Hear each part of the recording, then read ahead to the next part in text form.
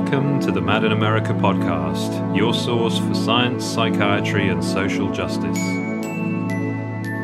Hello, this is James. Welcome to episode two of the Mad in America podcast. Thank you so much for your feedback on the first episode last week featuring Jim Gottstein. It's great to hear from you, and if you want to get in touch, you can email podcasts at madinamerica.com. This week we interview Dr. Mo Hannah. Mo is a professor of psychology at Siena College, New York, where she has taught since 1992, and a licensed New York State psychologist practicing with older adolescents and adults. Her clinical and research interests revolve around couples therapy, intimate partner violence, and transpersonal psychology. She serves as the editor of Family and Interpersonal Violence Quarterly and has published seven books and numerous chapters and articles. In 2004, she co founded and continues to serve as the chair of the annual Battered Mothers Custody Conference. Mo talks to us about her family experiences of the psychiatric system and how this has impacted her teaching and her approach to therapy.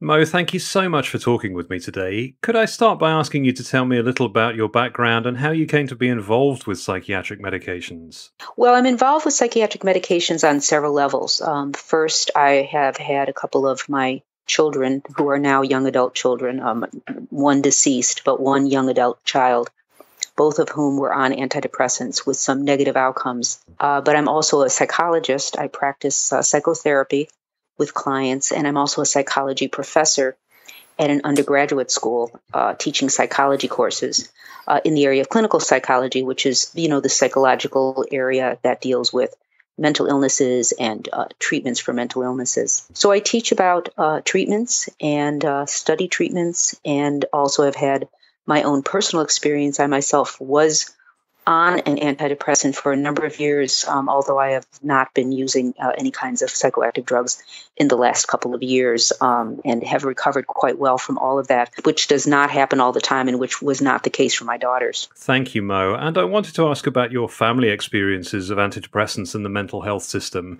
I understand that both of your daughters, Monique and Alex, had experiences with mental health services.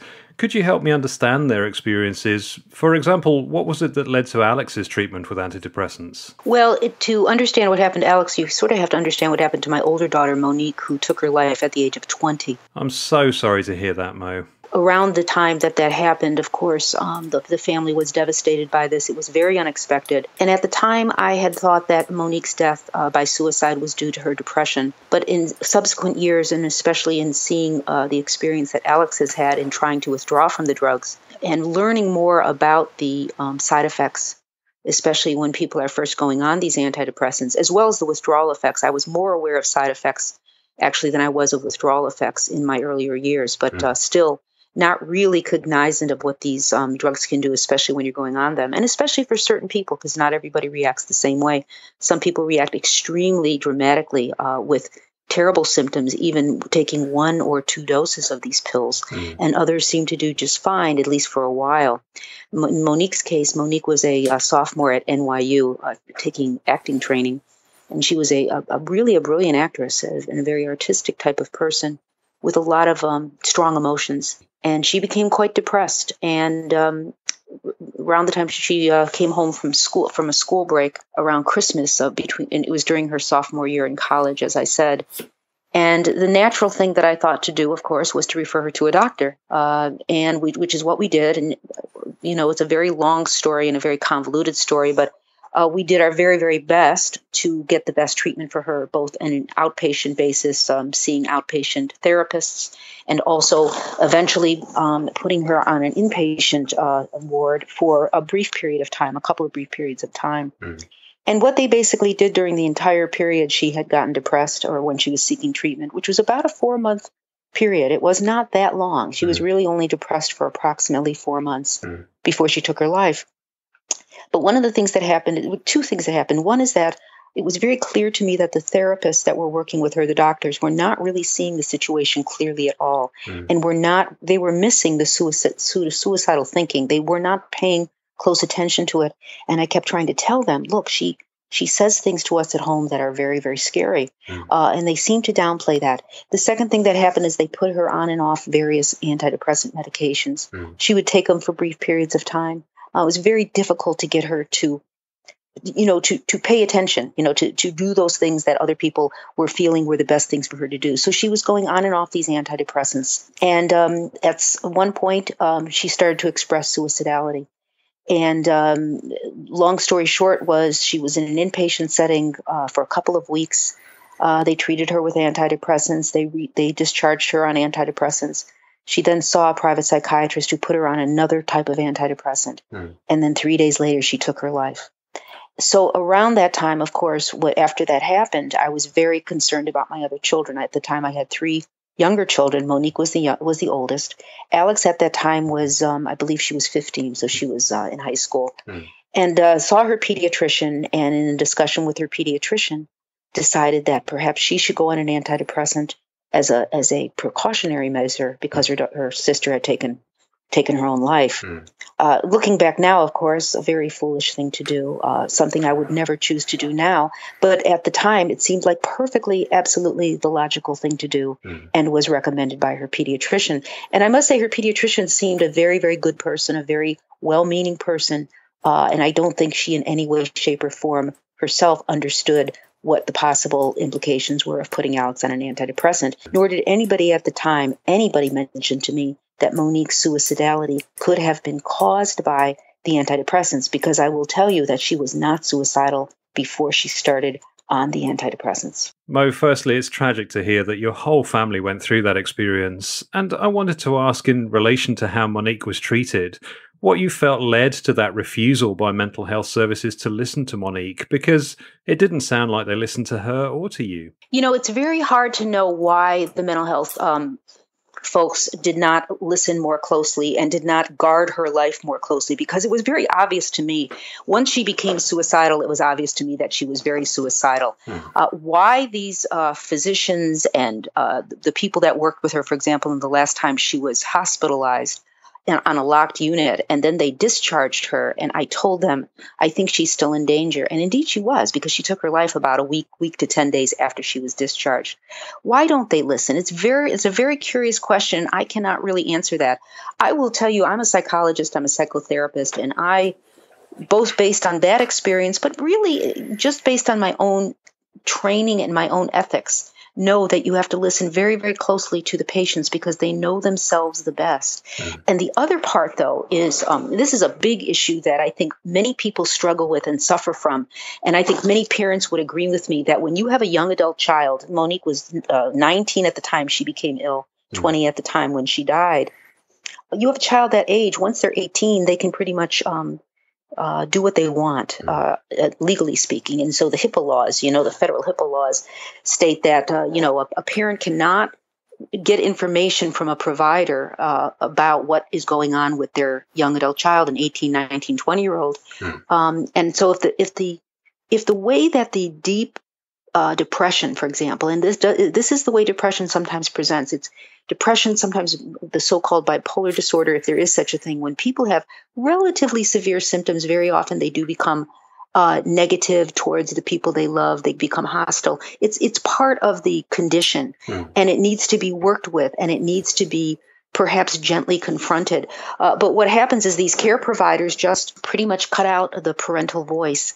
And I'm not talking about parents who are abusive. I'm talking about parents who are really trying to do their best to help their young person. And as if the young person says, "No, I want to deal with this on my own," even if they are in, in danger, uh, they're they're pretty much um, not allowed to uh, to to uh, participate in the treatment.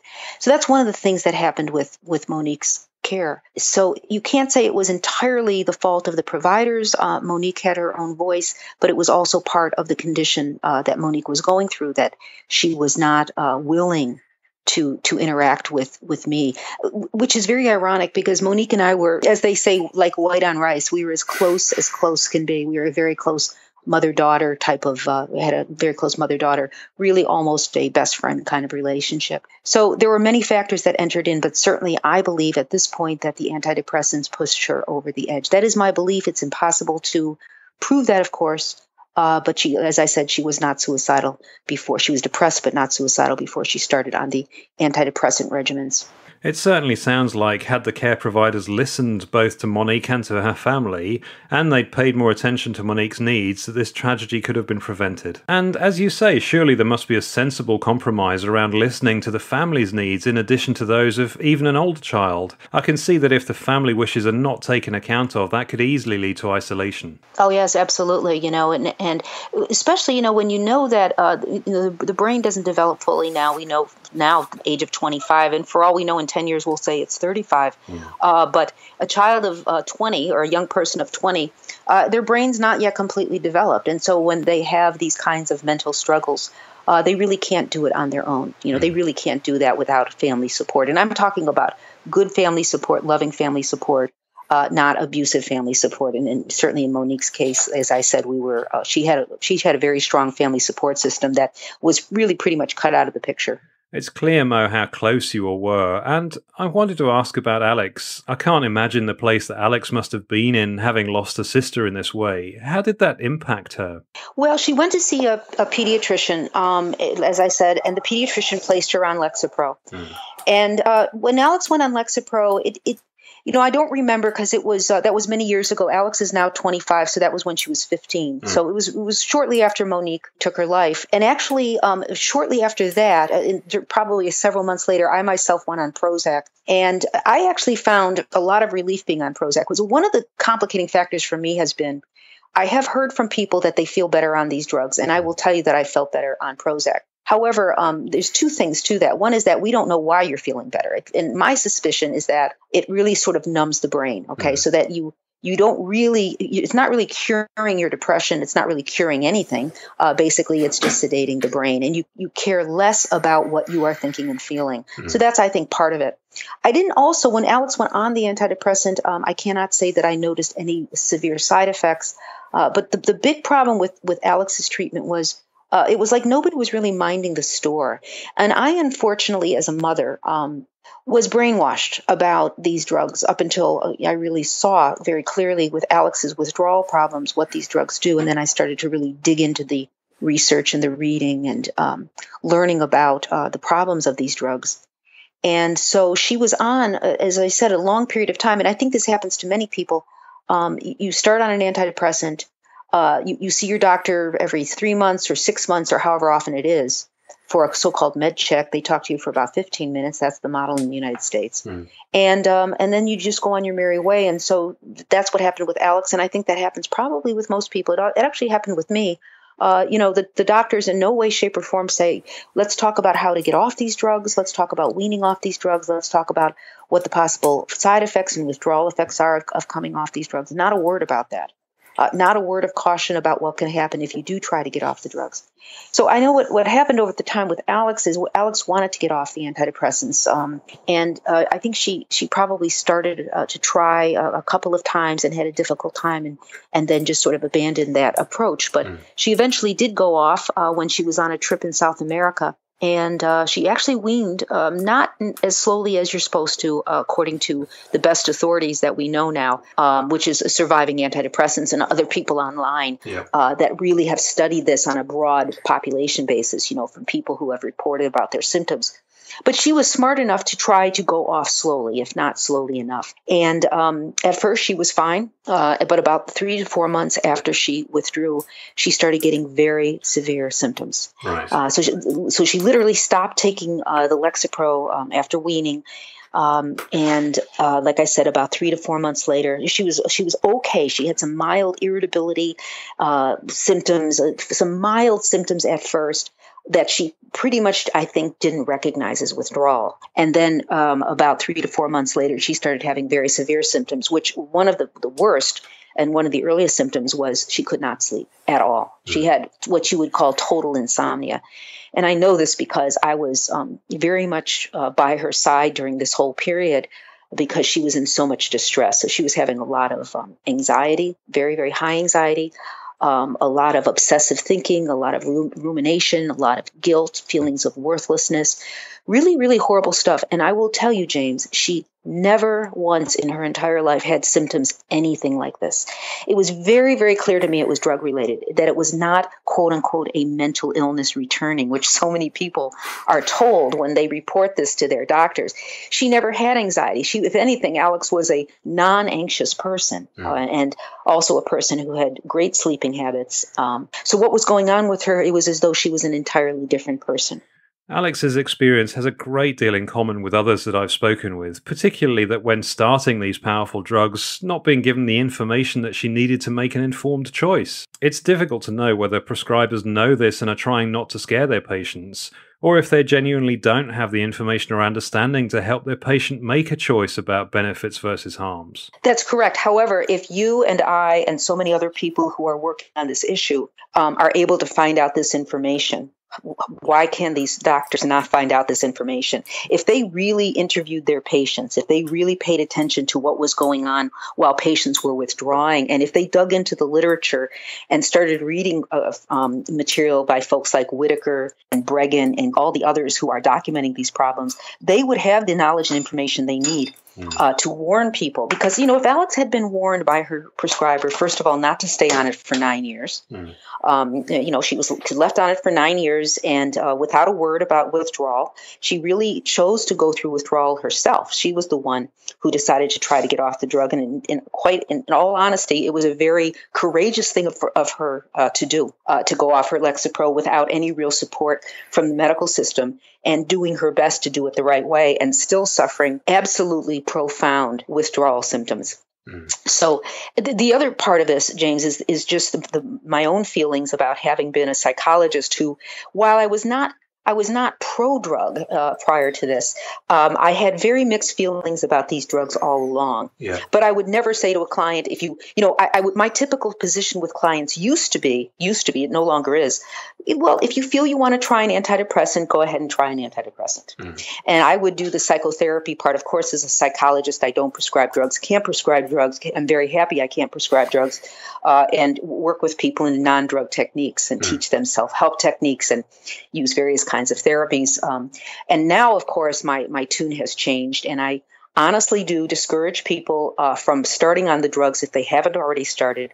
And I absolutely warn people who are on the drugs about all the potential withdrawal effects, talking to them about the uh, the possible impacts of going off the drug. Although I also talk about the desirability of going off the drugs because these drugs are by no means are benign um, on the rest of the bodily sim- systems, as we know. Mm. And um, I also talked to them about the 10% method. And by the way, I have also changed how I teach my students when I teach, for example, abnormal psychology, which I'm teaching this semester. Mm. Um, I talk about these drugs in very different ways than I used to. Well, Mo, thank goodness there are professionals like you who are willing to challenge the standard psychiatric model of brain abnormality and a biological cause of mental illness because Psychiatry seems to have only one tool in the box, which is medication, and for many people that brings far more challenges than it ever resolves. Absolutely, yeah, yeah. And of course, I have many, many clients who are on the medications, many clients who have gone on and off different medications, um, and uh, you know, not everybody has the same, as, as we know, not everybody has the same experiences with the medications. But uh, for those who have the bad experiences with withdrawal, uh, from what I can see and from what I've heard, it's probably the worst thing you can go through, just about. That is a commonly reported experience. And people will say that the wide range of emotional, psychological, and physiological effects of withdrawal are actually far worse than the issues that the person needed help for initially. And that's absolutely true of Alex. Uh, even even with the death of her sister and the, the, the reaction she had to the death of her sister, um, was nothing like what she has gone through uh, as far as her withdrawal symptoms. Mm. I didn't think it was even possible for somebody to have these kinds of symptoms with uh, as a part of re- withdrawal from uh, from antidepressants.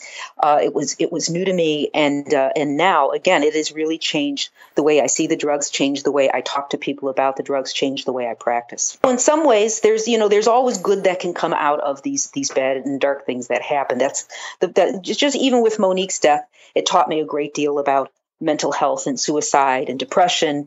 And again, in, in retrospect, about uh, the, the cautions people need as far as ever uh, picking up that first antidepressant because you really do not know what kind of impact it's going to have on the person and it can do much more harm than good. I agree. And I wanted to ask Mo whether you feel like I do that It's bad enough that these effects exist and there's little knowledge of them, but what's worse is the fact that an antidepressant is sold and promoted as a carefully targeted magic bullet that will correct a brain chemical imbalance.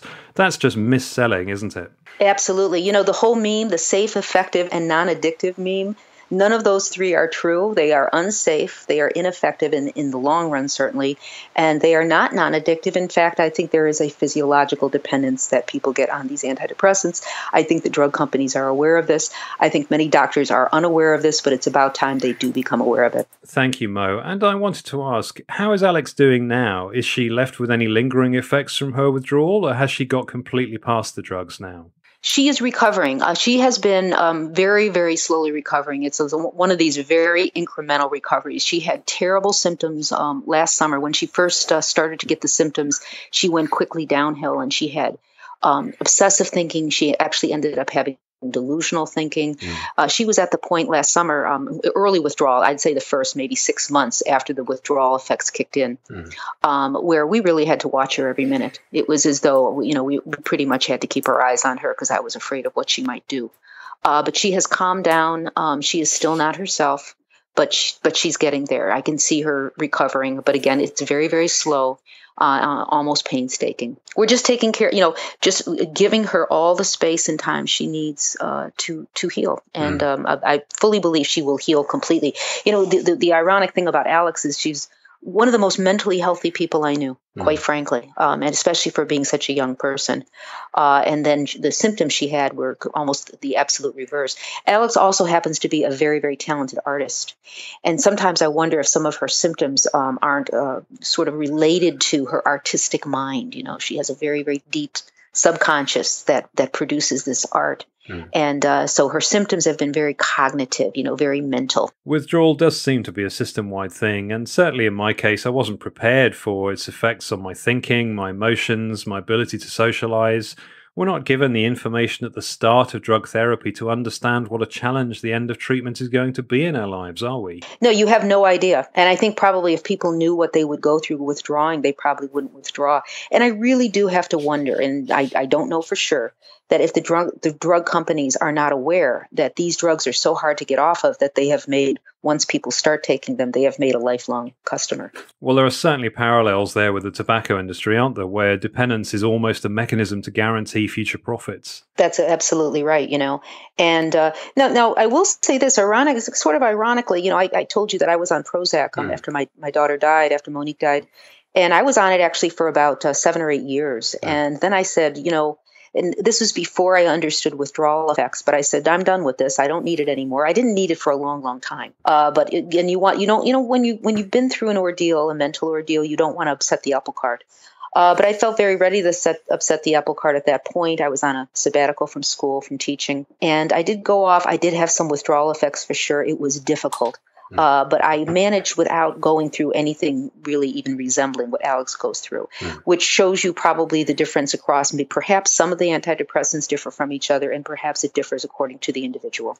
That is a good point, and it does seem to be that just as people have markedly different response to antidepressant treatment, they also seem to have very different experiences of withdrawal. The number of people who think about withdrawal but get so worried about upsetting everything and not being able to work or to engage with their families, that leads to real pressure to not come off the drugs, doesn't it? Yes, there is. Yeah, and you know because you and you really don't know who who among all the people taking antidepressants are going to become disabled. So whereas I was able to continue to work and function, although again I had some uh, difficulty. Most of my symptoms were emotional. I did a lot of crying. I cried at the drop of a hat. It was, you know, if things upset me easily, but that did pass. And fortunately, I spent many of the years after Monique passed um, working on myself in non drug ways. So, learning meditation, practicing meditation, um, exercise, uh, mindfulness, doing a lot of spiritual reading. All those things have really helped me to recover. And I really feel I, I very much did recover from Monique's passing and um, you know and i think the i don't know what the prozac did but i'm very very happy to be off any kind of psychoactive drugs and would never touch them again uh, whereas whereas with alex you know alex had uh, pretty much a disabling experience in withdrawal. Uh, and again, I, I fully anticipate her fully recovering. So I that, that is not something that I, I am concerned about. But it, has been, you know, she is not, she's been off just maybe a little bit less than a year now, and she is still not really fully herself. Recovery is a slow process, isn't it? And we're much more understanding and accepting of that message where illicit drugs are concerned.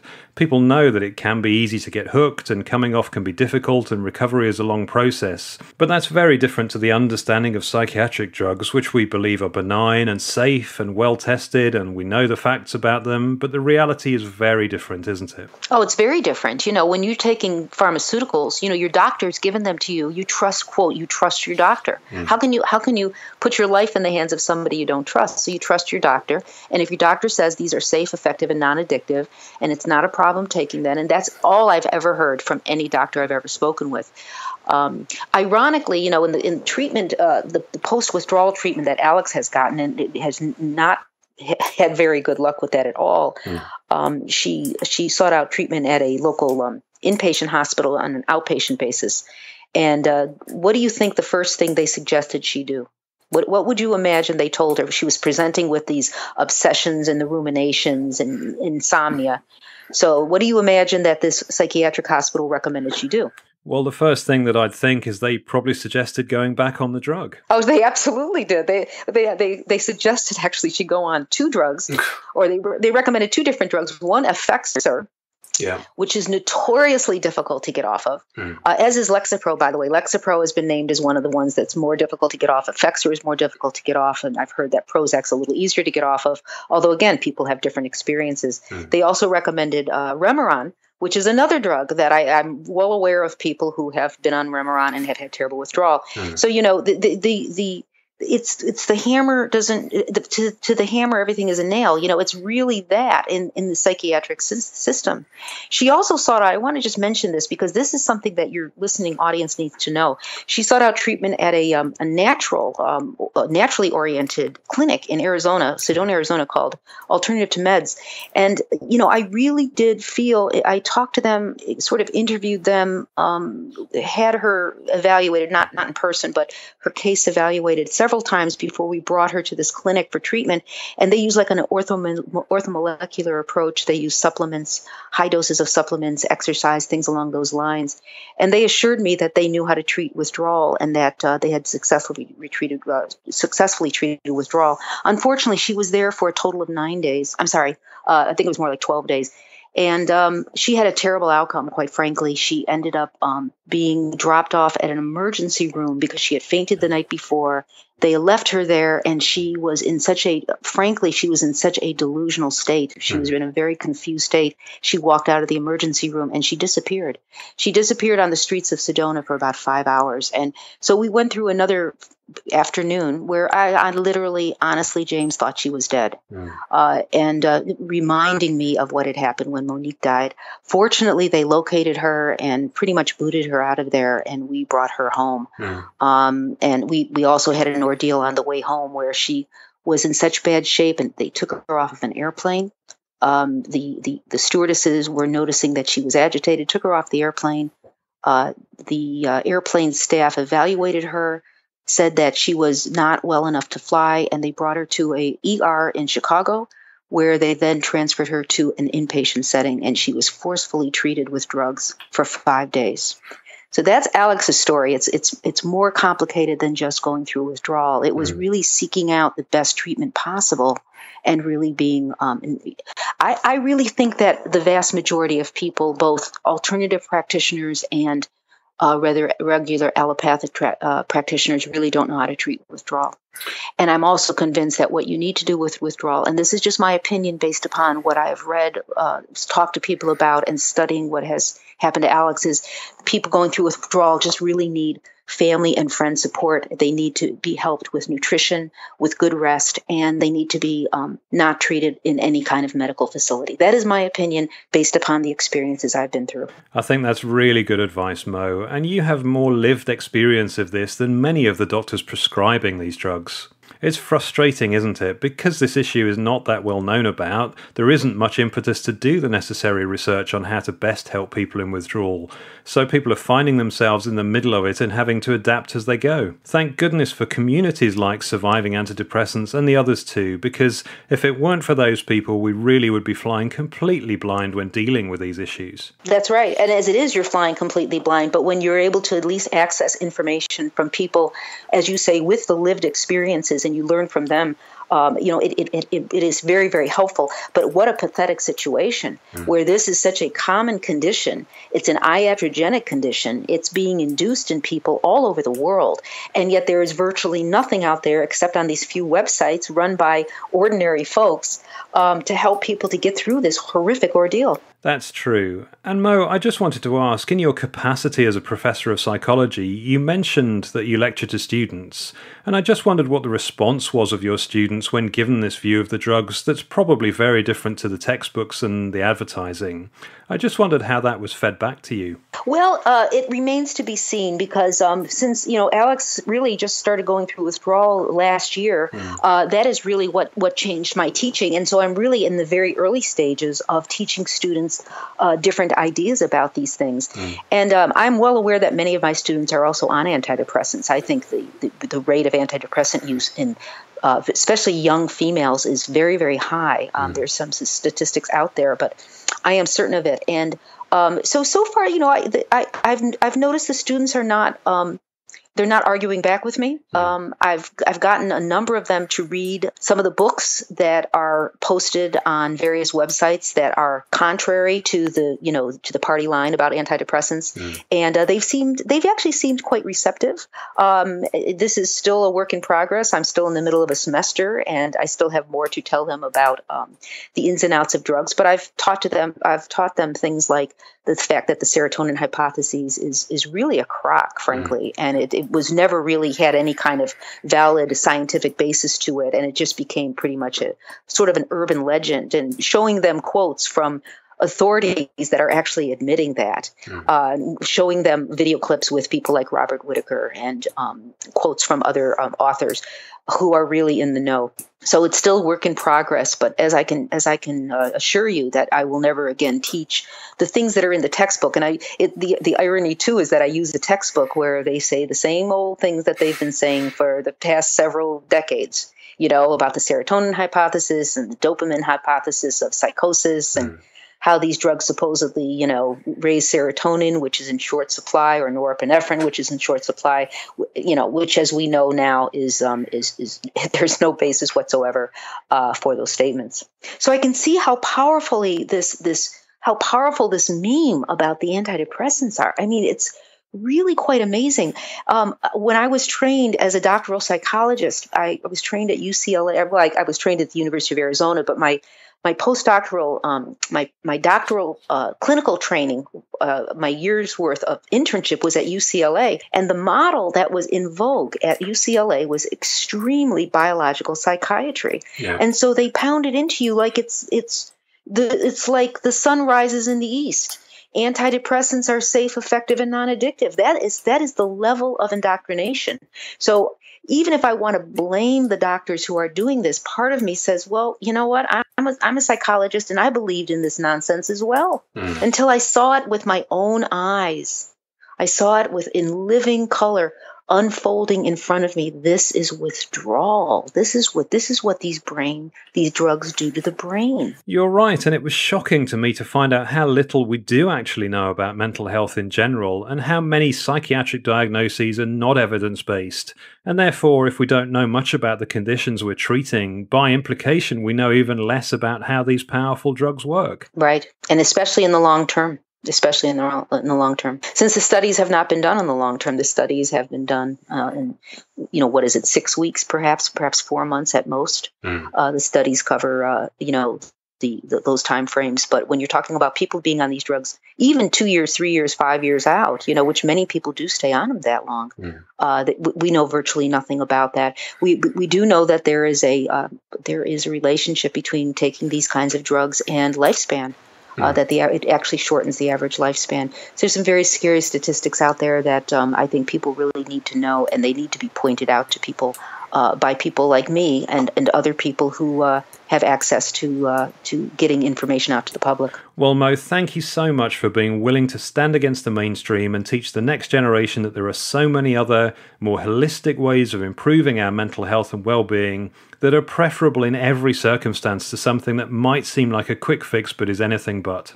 Absolutely. And thank you again, James, for what you're doing. And I eagerly await every new uh, every new uh, podcast and look forward to listening to them all. Mo, thank you so much for talking about things which must be very difficult for you to talk about, and I'm very grateful to you for sharing your experiences with us. I'm sure others have said this, uh, but it needs to be said again that if your doctor uh, suggests putting you on an antidepressant, that you think long and hard before you take that first pill, uh, and that you explore online all of the information that is out there, both pros and cons, mm. and that you also really make use of non drug um, uh, techniques and self help approaches because uh, things like exercise and meditation, which have very, very good research behind them now, uh, which demonstrate that in many, many cases of depression, anxiety, and other kinds of problems, you can uh, circumvent uh, and, and heal yourself, circumvent the symptoms and heal yourself using these non drug techniques. And then that, this is something that you can practice for the rest of your life, as opposed to taking a pill that eventually, sooner or later, uh, will stop working and possibly cause you uh, your bodily systems harm. That's great advice. Thank you so much, Mo. It's been a pleasure to be able to chat with you today. Oh, well, thank you for having an avenue to do this. I mean, who else is doing this kind of thing? So, you know, thank you very much for, for what you are doing too, James. Well, I'm sure you found the interview with Mo engaging and enlightening, and I'm really grateful to be able to share this interview with you. If you'd like to discuss the podcast or the issues raised, visit madinamerica.com forward slash forums. Mad in America News and Updates.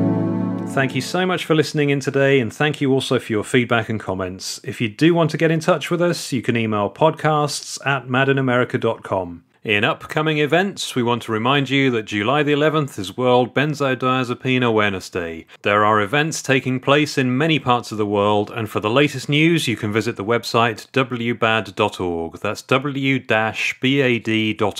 We will be releasing a special episode of this podcast on Tuesday the 11th, which will focus solely on some of the many complex issues around benzodiazepine prescribing. Thank you so much for listening today. If you are listening in iTunes, please consider leaving us a review review because reviews and ratings really help to get more people listening to the podcast. Until next time, take care. Thank you for listening to the Mad in America podcast. Visit madinamerica.com for more news, views, and updates.